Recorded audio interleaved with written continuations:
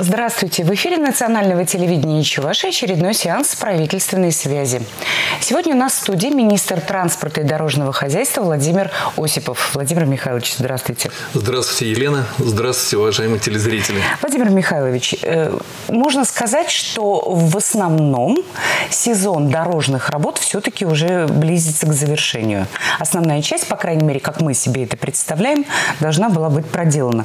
Вот какие промежуточные итоги вы можете подвести? Провести, что удалось сделать, то есть идем ли мы в соответствии с планами, или, может быть, опережаем их, или как обстоят дела? Елена, во-первых, хочу поблагодарить, что вы в очередной раз предоставили мне возможность э, выступить в вашей студии. Мы всегда рады. Во-первых, э, из, из уст министра, наверное, э, можно услышать вот ситуацию, которая складывается на самом деле сегодня. Угу.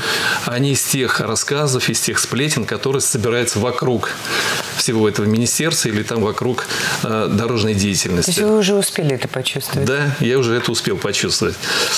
Эм, на самом деле, вы правильно говорите, что сегодня уже, кстати, 30 сентября завершается третий квартал.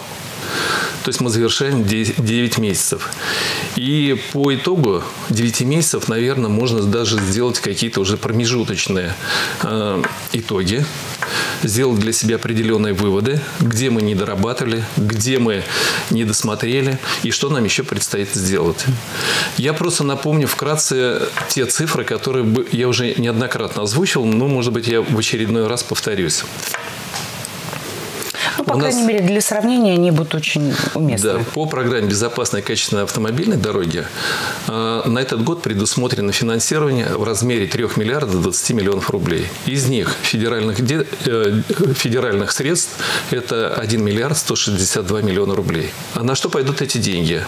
Э, есть такое понятие нормативное состояние автомобильных дорог. Вот используя сегодняшние средства, в конце года значит, дороги, которые относится к межмуниципальным или, региональным, в нормативном состоянии должно, мы должны привести 46,7%. От общего, от общего, от общего количества дорог регионального значения. А дорог э, городской агломерации мы должны привести в нормативное состояние 67,8%.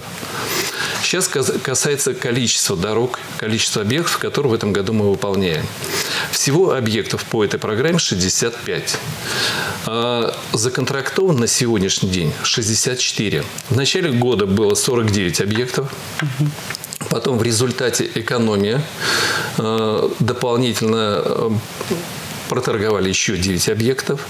И в результате дополнительного финансирования еще 7 объектов. У нас не, э, законтрактован на сегодняшний день это один объект, улица Гражданская. Успеем который, который, который находится еще в экспертизе. Мы ждем положительного заключения. Я надеюсь, что до конца текущей недели положительное заключение будет получено. И, соответственно, э, где-то числах 10-15 октября э, торги пройдут и будет определен победитель.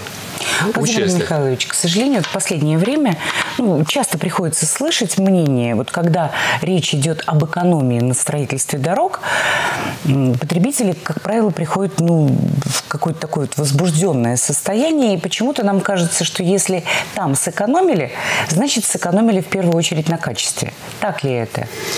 Ну, во-первых, мы никак не можем обойти 44-й федеральный закон по условиям 44 федерального закона а, все участники имеют право участвовать, все участники дорожной деятельности имеют право принимать участие в аукционах по определению победителей а, для строительства дорог или для ремонта дорог. И, соответственно, иногда идет такая жесткая конкуренция, идет достаточно сильное падение. Но вот на сегодняшний день мы пока на этот процесс повлиять не можем. Потому что бывает неоправданно очень сильное падение. Неоправданно. Но, кстати, с 1 сентября будет ну, 644 федеральный закон вносится изменение, по которому мы победителя можем определять не по результатам аукциона, по результатам конкурсов. А по конкурсам э, там есть еще и другие критерии. То есть, кроме цены, там есть еще опыт работы, есть э, качество работы. Соответственно, есть другие критерии, по которым можем оценить участников данного, данных торгов. Но, тем не менее, все равно ведь есть же какие-то рычаги, ну, я не знаю, вы обязаны проверять качество. У нас есть дорожная лаборатория, которая этим занимается. Можно ли принять объект, который построен, ну, прям скажем, не очень, не очень хорошо. Ну, конечно, нет. Такие объекты, конечно, и, не принимаются. А, во всяком случае, вот смотрите, завершается у нас год, как мы уже говорили, да? У нас 65 объектов. Из них на сегодняшний день а, завершили уже 38 объектов. Это порядка 60%. Угу. Но работа на самом деле выполнена больше. То есть э, объектов, которые уже готовы к сдаче, э, гораздо больше, их процентов, наверное, 70, 75 или под 80 уже. Но идет процесс э, сдачи документов. Принимается исполнительная документация. В том числе оценивается качество дороги, лабораторные анализы проводятся, проверяет качество заполнения исполнительной документации. Поэтому процесс идет достаточно медленно, потому что те люди, которые принимают те или иные объекты, они, конечно, несут большую ответственность. И рисковать никто не хочет. Поэтому этот процесс достаточно затягивается на долгий период такой. Если мы говорим об отремонтированных объектах, какие самые важные, самые главные, может быть, какие-то ключевые вы можете назвать этого года? Да, в этом году мы завершили капитальный ремонт проспекта тракторостроителей в городе Чебоксары. Протяженность оставшегося участка – это 1400 метров. Стоимость порядка 90 миллионов рублей. А, с завершением данного участка мы завершили капитальный ремонт а, всего проспекта тракторостроителей. Это порядка 10 километров. Кроме этого, мы завершили реконструкцию улицы по проспекту Ивана Яковлева. Это 2,4 километра. А общая стоимость данного проекта была порядка 684 миллионов рублей. Ну, как вы, наверное, уже увидели, проспект Яковлев кардинально поменялся.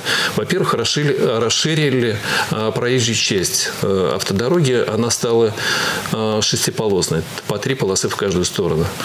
Провели обустройство тротуаров, смонтировали освещение, провели озеленение. То есть э, выполнен полный комплекс всех работ. Это тоже достаточно такой ну, важный объект был. Далее, завершили капитальный ремонт моста через реку Сугутка. А, протяженность данного моста 274 погонных метра. Общая стоимость в этом году была где-то порядка 96 миллионов Слушайте, рублей. Меньше 300 метров, да, какое значение все Ну, конечно, да. Но дело в том, что объект был переходящий. Мы его начинали в прошлом году, в этом году только завершили.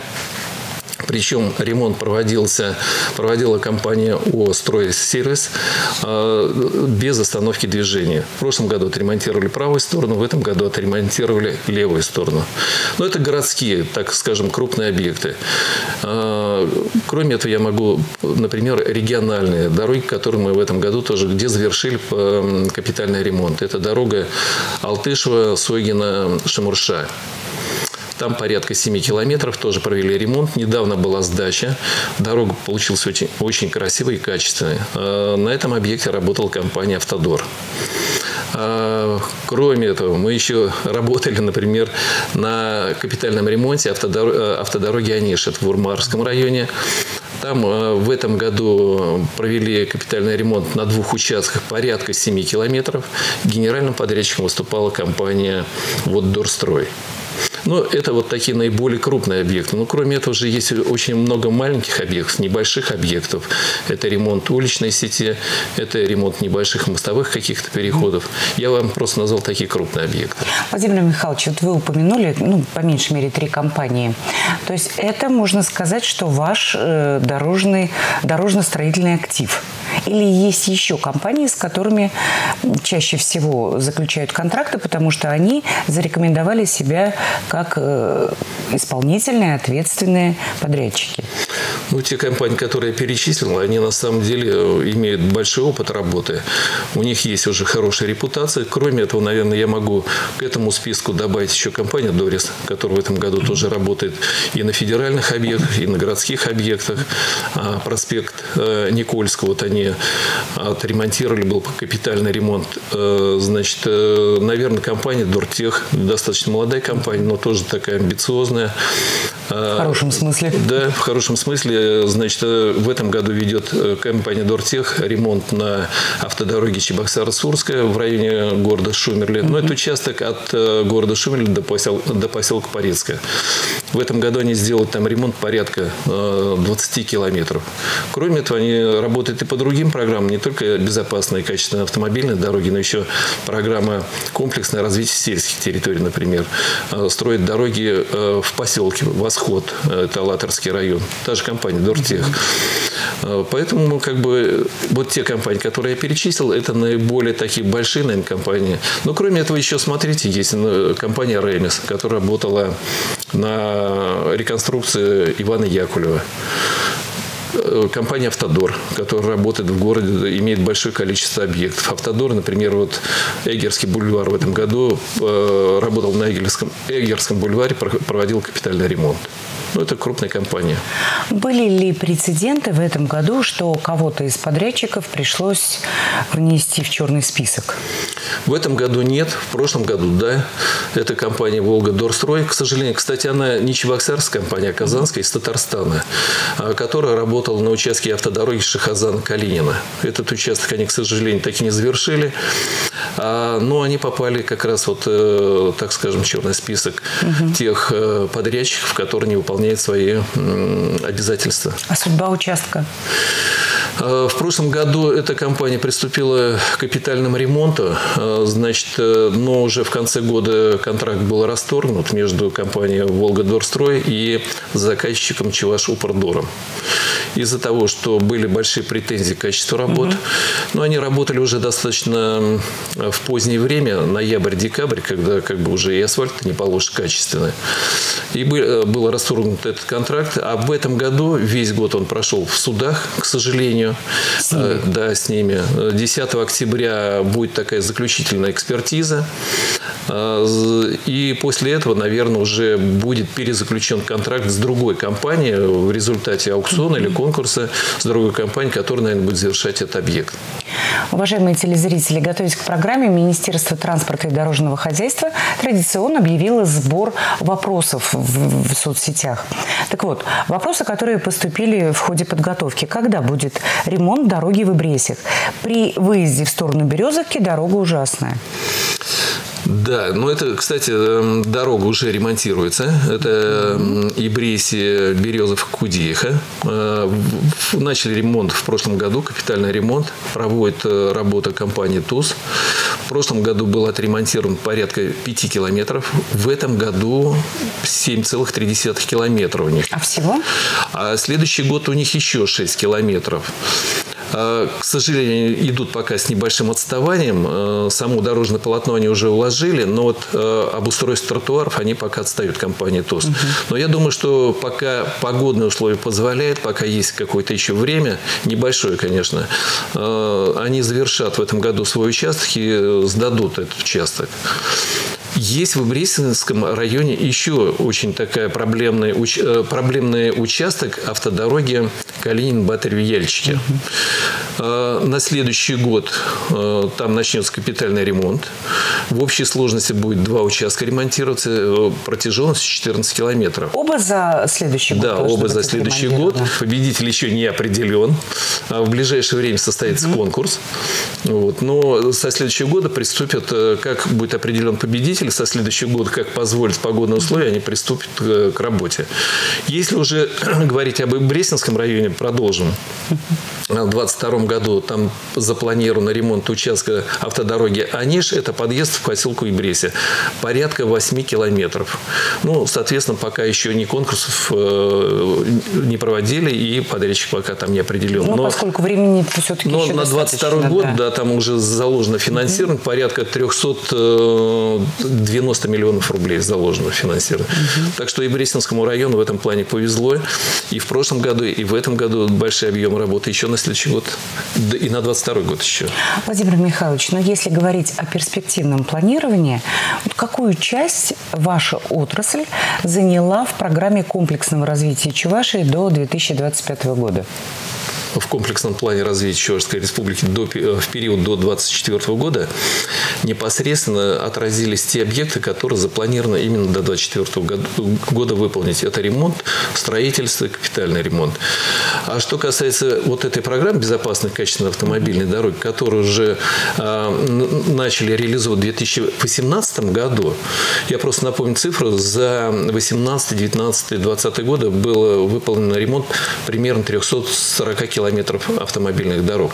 И, естественно, эта программа, она так вплелась в, в комплексный mm-hmm. план развития Чувашской республики и дает существенный такой экономический, финансовый эффект, конечно. И мы видим вот на наших дорогах, даже по, на примере нашей уличной магистральной сети в городе, мы видим, как изменились наши улицы. Но, тем не менее, все-таки претензий пока еще тоже, к сожалению, достаточно. Ждем годами освещения дороги, отремонтированные по программе БКД, и тротуаров улица Пролетарская.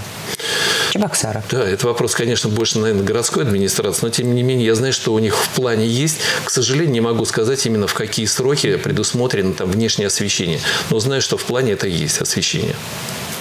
По какому принципу выбирают и утверждают перечень дорог для включения их в программу ремонта на следующий год? В рамках национального проекта, в рамках любых других программ? Вот что касается городской агломерации, но здесь, конечно, э, в первую очередь проводится диагностика автомобильных дорог, угу. и во вторую очередь э, выносится на общественное обсуждение. И по, по этим результатам определяются те дороги, которые необходимо отремонтировать или реконструировать.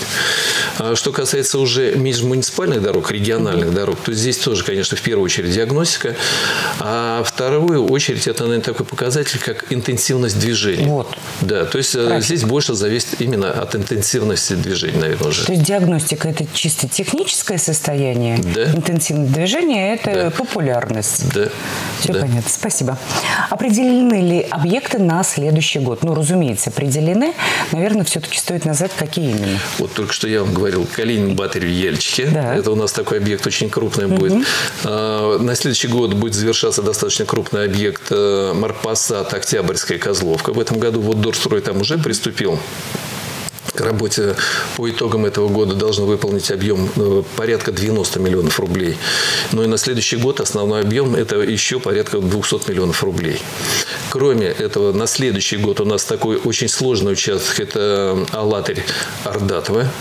Там порядка тоже 6 километров, 6 километров 700 метров. Э, в этом году вот Дорстой на этом участке приступил, но чисто подготовительная работа они пока выполнили. На следующий год основной объем работы – это тоже порядка порядка 290 миллионов рублей. А, такие крупные объекты. Но э, также предусмотрено на следующий год реконструкция участка автодороги Чебоксара-Сурская. Тоже так, ну вот все то, что я вспоминаю вот так. Ну и по городу здесь тоже есть объекты, которые будут ремонтироваться, улицы, которые будут ремонтироваться.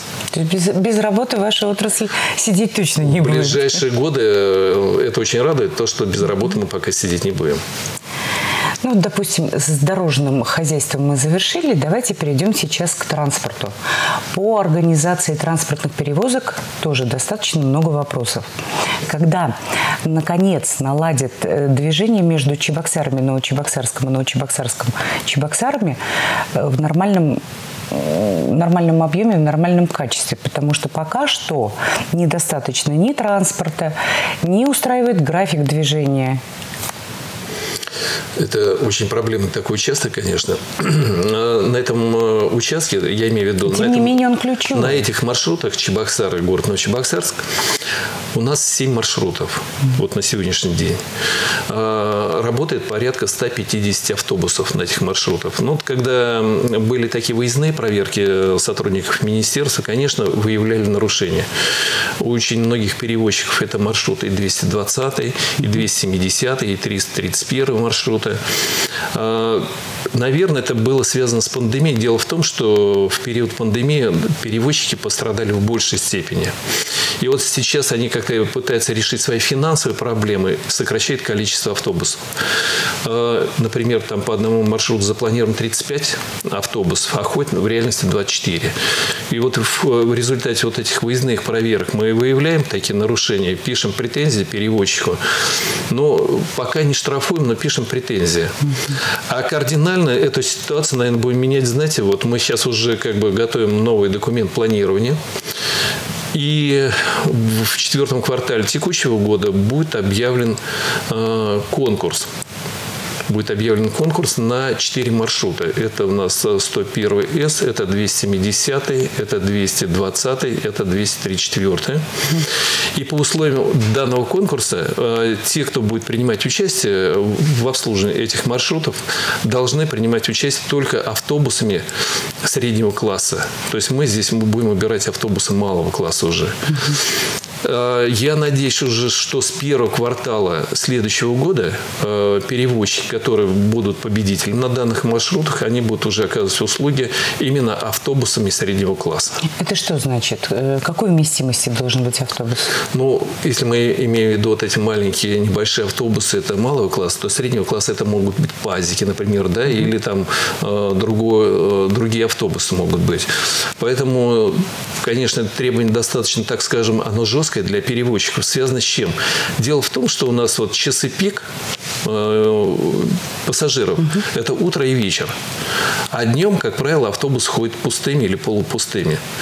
Если мы заставляем или мы предлагаем их перевозить этих же пассажиров уже автобусами среднего класса, то здесь большой риск, э, то, что многие э, маршруты будут не совсем рентабельными. А так. почему нельзя сделать какие-то вот, ну, я, конечно, в этом отношении дилетант, но вот как мне представляется. Нельзя ли э, выставить какие-то гибкие требования? Например, утром и вечером часы час пик маршрутчик, вернее, подрядчик обязан а, перевозить автобусами вот среднего класса да, и большой вместимости. А в середине, в середине дня, когда нет такого высокого спроса, достаточно обычных маршруток. Так нельзя? Так тоже можно. Но э, мы хотим все-таки именно на маршруте Чебоксар-Ночебоксар, чтобы работали автобусы среднего класса все-таки, среднего типа. Среднего типа. Ну что ж, Владимир Михайлович, спасибо вам за такие подробные ответы. А я напомню, что с министром транспорта и дорожного хозяйства Чувашской Республики Владимиром Осиповым мы планируем встретиться еще раз в эфире в конце года, чтобы подвести окончательные результаты работы 2020 года. Готовьте свои вопросы, а пока спасибо за внимание. Всего доброго.